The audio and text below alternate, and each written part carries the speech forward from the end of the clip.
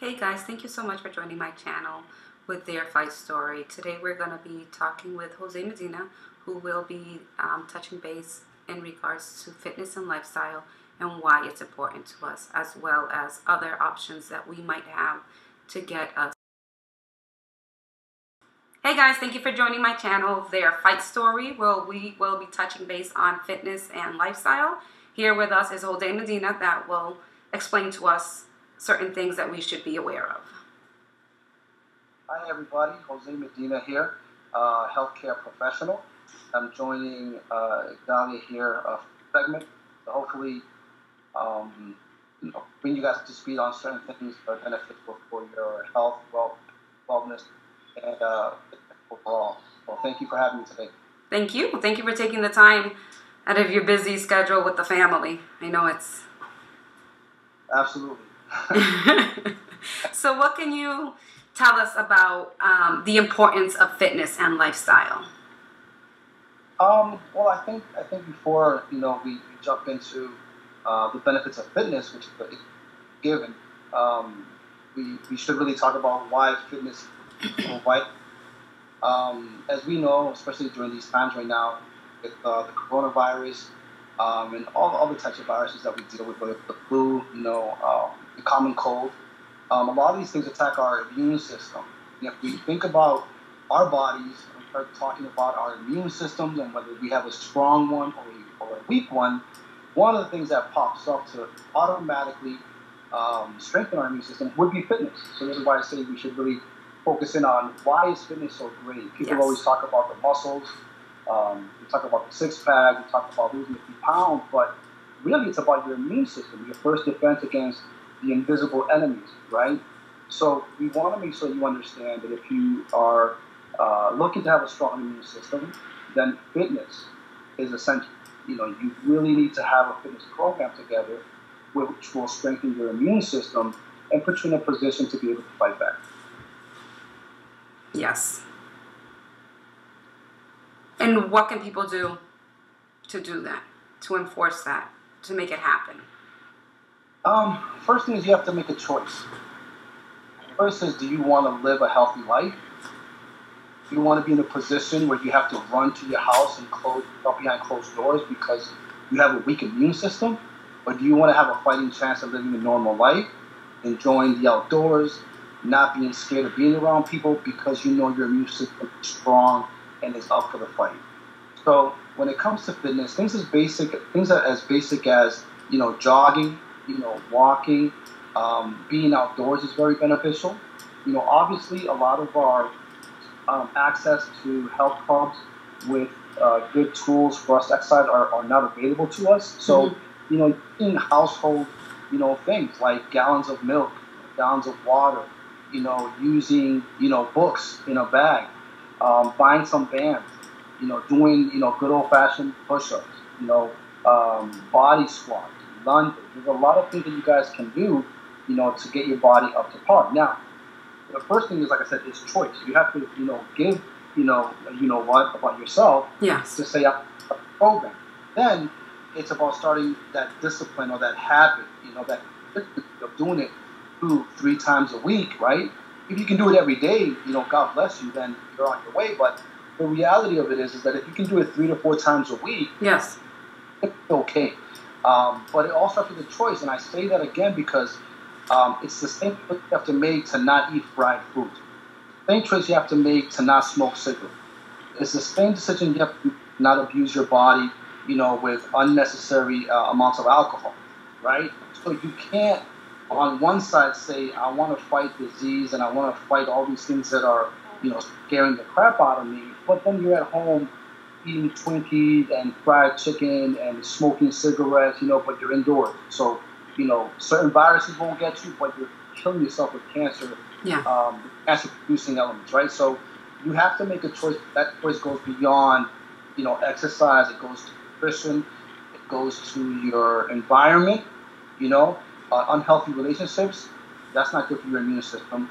Um, you know, being in in uh, in situations where you're constantly arguing with people, or in negative or back and forth arguments, all those things play a role into how your body is then able to then be in a in good place to fight back. So it's a lot of things. You know, it's not just dumbbell. You know, there's a lot more. So I want to encourage everybody to kind of take a good look at their overall environment and then start, you know, addressing each and every one of them. And ultimately, you'll have a healthier and a happier lifestyle.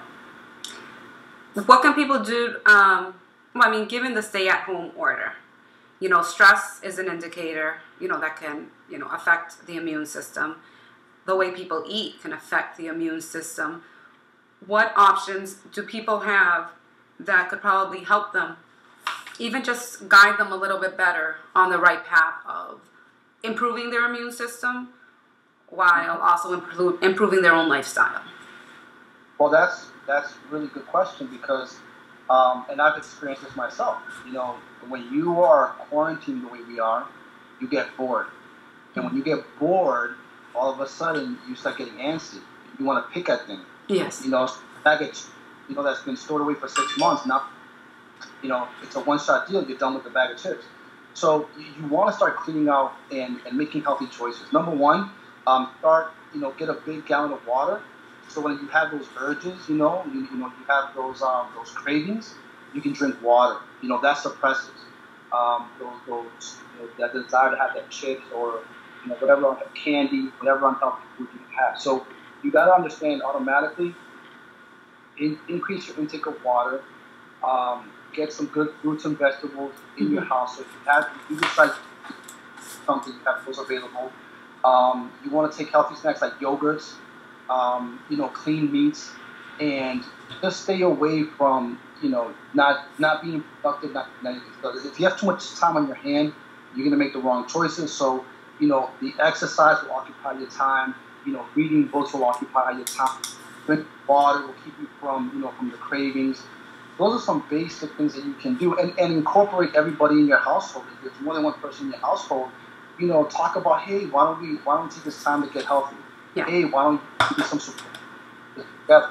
You know, in my house, everybody here they're doing this little challenge amongst themselves, and they're you know every day, hey, have you drank water? Hey, how much weight have you lost? You know, hey, how are you feeling? Hey, how many hours of sleep did you get? So now we're occupying our time by creating a like a workout environment if mm-hmm. you know. Um, we're cooking healthier.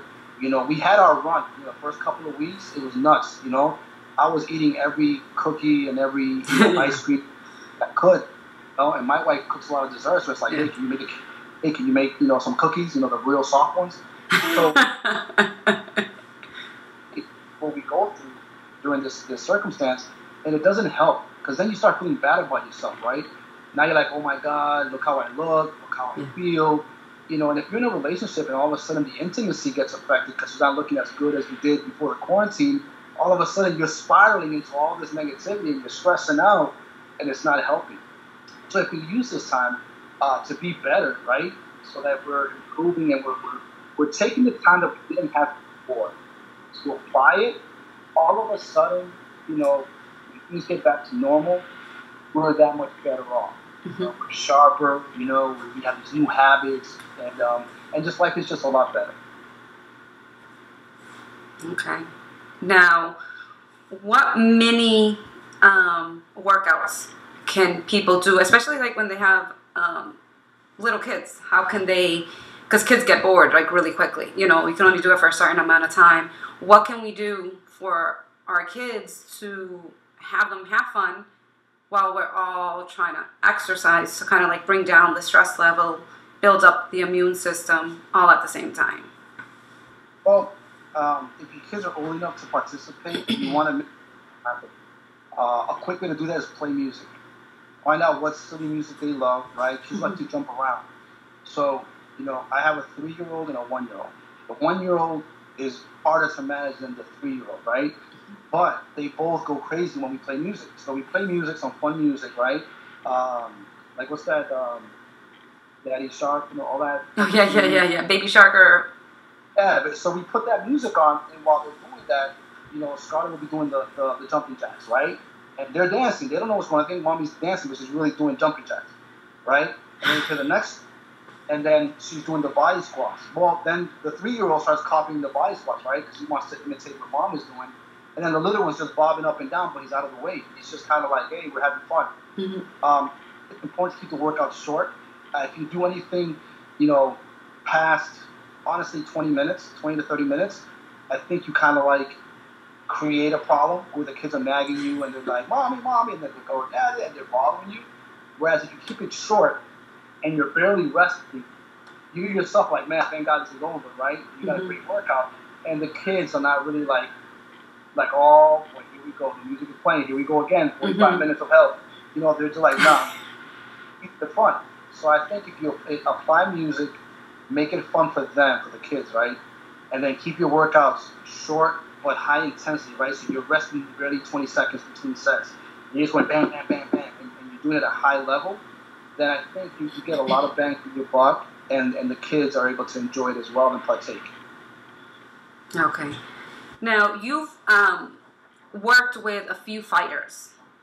Now, what would you tell them as far as everything that's happening right now? What is the best way to kind of like maintain themselves until mm-hmm. they get back? Because I know a lot are trying to do their own workouts from home, you know, because now they have yeah. limited access to the gyms. Um, what can they do, not just um, as a workout, but to maintain kind of like their stress level so it doesn't affect their immune system, it doesn't affect um, their mental state, because you know fighters need to have a, a good mental state in order to train and do all that. What would you suggest for them? I think this is a great time to work on conditioning you know. Um, and I think it's a great time to work on stretching and pliability. Kind of, especially the MMA fighters, where they're a lot of times put in positions where if they get overly mm-hmm. I need, they might have a need to tap out. Whereas if they become more pliable, it might make them more resistant to be able to figure out what you know what situation they're in. But I think if fighters now focus more on their conditioning, they don't have the, the craziness, distractions of like work and all these other things, so they can focus in on a good cardio program, right? Yeah. Pretty much empty. So put a headset on, you know, run for a couple of hours, come back, and then work on some stretching, and then like always, good old fashioned push ups and pull ups and mm-hmm. I think, and also, hey, listen, I would put on some some movies, believe it or not, the old school Rocky movies, oh, yeah. where woods in the mountains and he's chopping, you know, he's chopping woods. Um, I would do projects at home that require a lot of physical labor. You saw what I was doing. That beat the crap out you know, at the house, you know, doing some physical labor. So if they can focus on just doing some functional movements, right? Functional movements that they're doing things at home, but they're in movements that are like exercises, right? Mm-hmm. Or if they could try to just get creative, um, if they have battle ropes available, that would be great, you know. Um, if they have stuff in their house that they can lug from one side to the other, um, you know, if they have a wheelbarrow or anything that moves that they can load up with a lot of weight, just move those things so they can yes. work on their leg. There's a lot of little things they can do. Rocks. If there's a lot of rocks around, move rocks from one place to another. You know, kind of like the strongman competition where they carry a lot of stuff on yeah. them, where rocks on them and stuff like that. They just need to get creative and uh, keep that mind positive. Like, I'll tell this to any fighter: use this opportunity to work on areas of opportunity areas that you know you lack in, right? So that way, when things get fun and exciting again and you're open again, you already know what you can do well. So if you're good at striking, then you should focus on grabbing, right? If you're good at the kicking, then focus on the punching. If you're if you're a little tight, hey, focus on your stretching. If yeah. you're like down, you're winded, work on your conditioning. So I think just taking a a basic also um, the opportunity this time to let your body heal. You know, a lot of times fighters are going from one fight back to fully recuperated, and they're going. So they're always fighting at 80% of themselves, right? So give yourself a chance to be 100% again, mentally, physically, emotionally, uh, and then once things get back to normal, you know you'll be you'll be back to like a perfect starting point for yourself, like you were when you first began. Nice. Um, before um, this the stay-at-home order happened, you were going to accompany one of the fighters to their weigh-ins. What was it that um, you were going to try to provide for fighters before all of this happened? And will you be continuing, or will you continue to do this once everything goes back to normal? Oh man, that was so exciting. Uh, we have an awesome fighter that we're sponsoring. Uh, he's a phenomenal guy. I know you know him well, and, and everybody knows him well. Um, what we're gonna do for him is, as you guys know, when you guys are prepping for fights and you're trying to make weight, a lot of these guys really well, right? They just fleet themselves of all the mm-hmm. water, uh, try to make weight, and as you guys know, you guys run a risk of you know kidney failure and uh, other. Yeah. So what we're gonna do for our fighter was we're gonna be there for him. So when he went to his weigh and immediately after we're gonna have an eat for him with all the essential minerals and to get him hydrated right back without him having to chug like a bunch of water, right? All this gator and all this crazy, which was just gonna bloat him and not make him feel obviously too too good, right? So we're gonna be able to provide him with IV an IV treatment uh, following his weigh-in, even following his weigh-in. And um, once we get that going, we want to provide it for all the fighters. We don't want it to be just, you know, for our camp. We want to be accessible to everyone. Uh, and beyond the IV treatment, we want to make sure that all the fighters have access to good uh, wellness practices. You know, understand more about the, the benefits of essential amino acids. You know, and all vitamins and minerals that you can get through food uh, but sometimes it's just easier and quicker to get them through either an IV process or through other um, other processes that we also have. So um, we will be once this thing is, has been you know stay-at-home order lifted and been normalized. Uh, we will be starting to make our way to the fight scene and make ourselves accessible and visual, so people are able to understand more and more of what we bring, you know, to, to the scene and how we're able to help everyone, athletes, you know, stay-at-home moms, you know, the weekend warrior bodybuilders, uh, anybody, you know, professional, competitive, what we're able to provide. But at the very beginning, we're going to be um, helping out our fighter with his, um, his IV treatments, along with some other vitamins and essential amino acids that he need. Uh, good diet plan. We're also going to be focusing on his diet plan and coaching, um, as well with some of his strength regimen. So yeah. So you're going to be helping. You're going to be providing assistance for the fighters before the fights, and as well, you also have a, I always say this wrong, cryo machine? Oh, yeah. So that, I'm sorry, it, it, it, it died out. What were you saying? So it's a whole, it's a whole body cryotherapy chamber. And it's specifically um, for us, it's really there. Uh, it has a lot of benefits, but we have it uh, for pain management. Mm-hmm. Okay, so we already had some fighters that we were also sponsoring um, before all this happened months ago, um, and they were using it for they were doing such crazy training, you know, for their fights, mm-hmm. big title fights. Uh, so their training was just it was like beating themselves up before the big fight, right? So they would come to us and we would put them in the cryo cryotherapy chamber, and they would literally reset them. Next day, they're 100% back to normal. You know, joints are feeling great, everything's feeling mm-hmm. fantastic. So they were able to keep their training levels to the you know to the highest mm-hmm. intensity while bringing their body every time back to 100 percent. Uh, so we are uh, we do have that as well for our fighters and others.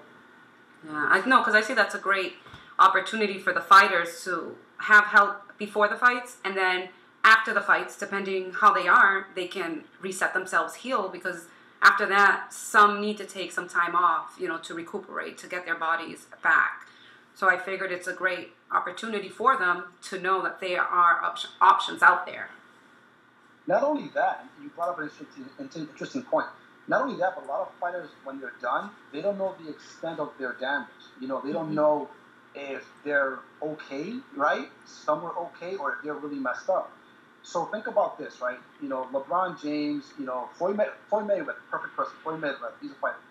He gets out of a fight, he goes into the chamber, he comes out, he's like, all right, I know what's good and what's not, right? Mm-hmm. He do that. The next day he could wake up and he could be like, Dad, I don't know if I have internal bleeding. I don't know if I broke my wrist. I don't know if this if something hurts, something's wrong with my back. He doesn't really know. Okay, now we got to do all these tests, all these things. So you do a cryo uh, cryo cryo session, and the next day you're like, oh wow, you know, I thought I had hyperextended my elbow, but it's feeling good right now, you know. So I guess that that's okay. You know, I can keep on, you know, um, doing some sessions, some therapy, and I think I'm gonna be all right. However, my ribs might be cracked, but this is not going away, right? So we're able to really help people minimize any type of issues that are going on in their bodies because it's just too much, right? It's kind of a fight. I don't know what is over the top and what is kind of minimal. So now they do this therapy, and then they can hone in on what's really important. And if something that they thought was, ah, it's not a big deal, I'll feel better in a couple days, and it doesn't go away, now they can say, wow, maybe it is a bigger deal than I thought. So that's another way that our fighters use, uh, and not only fighters, but our basketball players. As you know, we have a basketball mm-hmm. player just got just got picked up by UMass, and this guy's going to be an NBA prospect, amazing kid.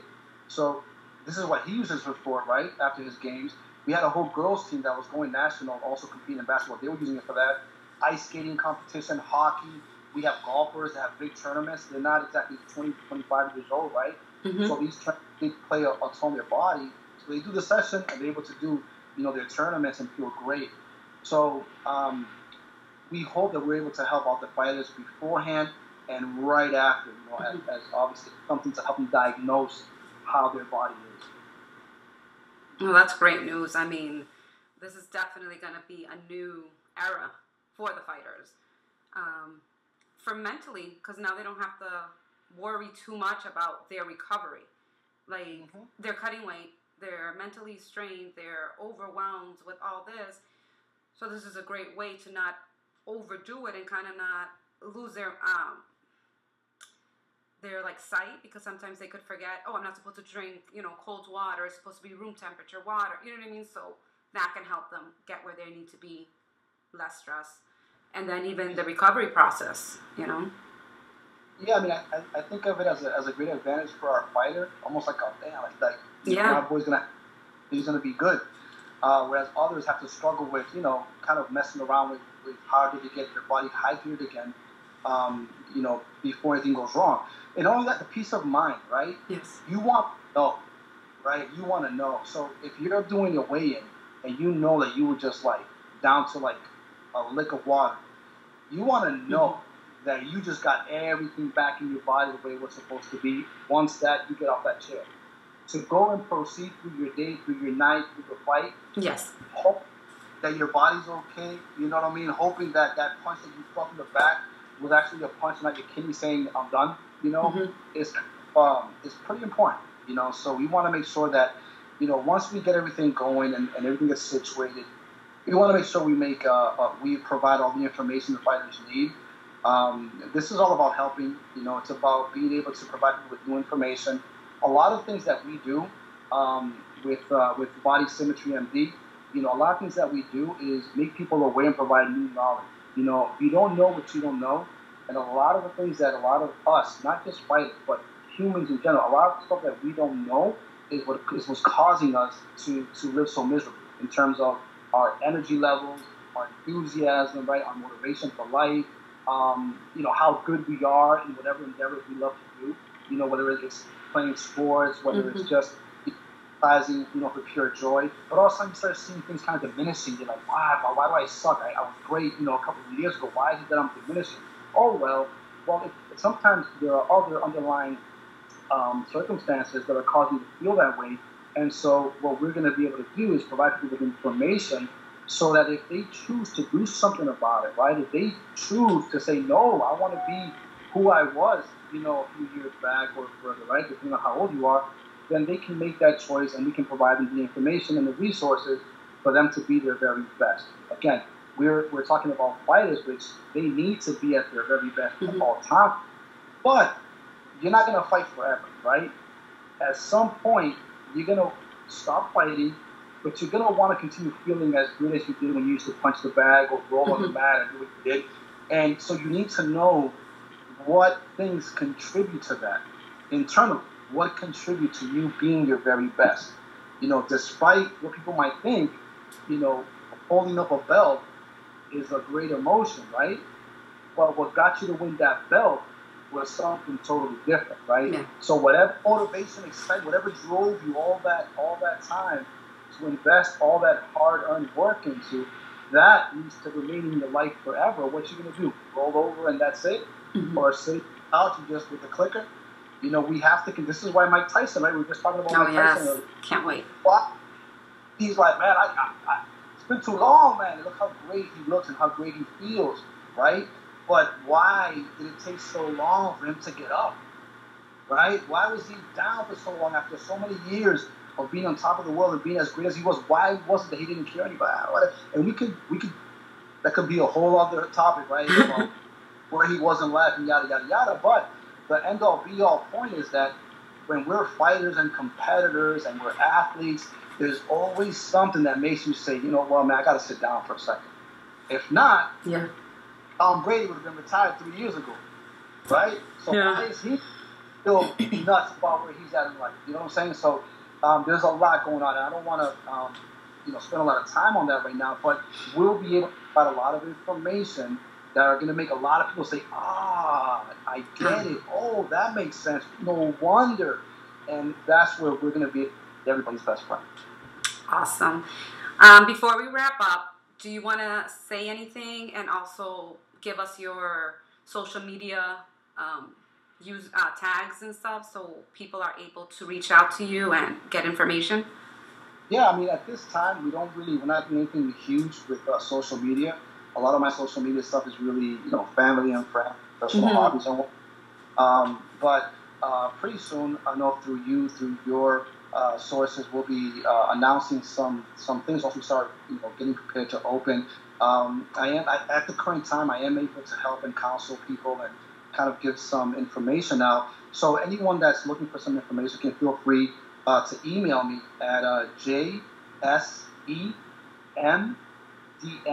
at gmail.com. It's an abbreviation of my first and last name. So it's uh, jsemdn at gmail.com. Um, or you can also, uh, my, my uh, Instagram, it's uh, Mr. Fit Form, uh, at Mr. Fit Form. Um, and again, you can use that as a way to DM me. Um, I have some stuff in there uh, in regards to like the cryotherapy, uh, but for more cryotherapy information or um, kind of up to date offers and discounts and, and, promos that we have, you can go to eCryo Therapy. Uh, that's at eCryo Therapy on Instagram, um, and I handle that. So any DMs I'll be able to respond to as well. Um, we're looking to be opening pretty soon. It looks like you know potentially the, the health clubs and you know you know businesses like ours will be you know on their phase one to open. Okay. Um, whether it's Monday or whether it's in a week or two or whenever it is, will be available and accessible. Um, and again, if anyone has any questions, you know they, they can definitely ask you. Um, and you're feel free to obviously provide them information. Uh, but at the current time, in terms of um, our body symmetry MD clinic, that we are uh, preparing to open in the near future, um, we are not launched yet on that side of it. Make sure that everything is ready to go when it's time. Perfect. Thank you so much for your time. I will Absolutely. be. If you can send me actually an email or a text with all the tags, that way I can insert that so people can have it. Um, I would really appreciate it. Sounds good. Thank you. God bless you, and I will talk to you soon. Blessings. Take care, everybody.